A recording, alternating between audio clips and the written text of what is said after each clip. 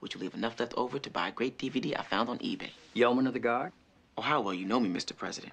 On Her Majesty's Secret Service. Can I tell you what's messed up about James Bond? Nothing. Shaken, not stirred, will get you cold water with a dash of gin and dry vermouth. The reason you stir it with a special spoon is so not to chip the ice. James is ordering a weak martini and being snooty about it. Well, I'll reflect on that while watching my digital enhanced picture with theater quality sound. Okay.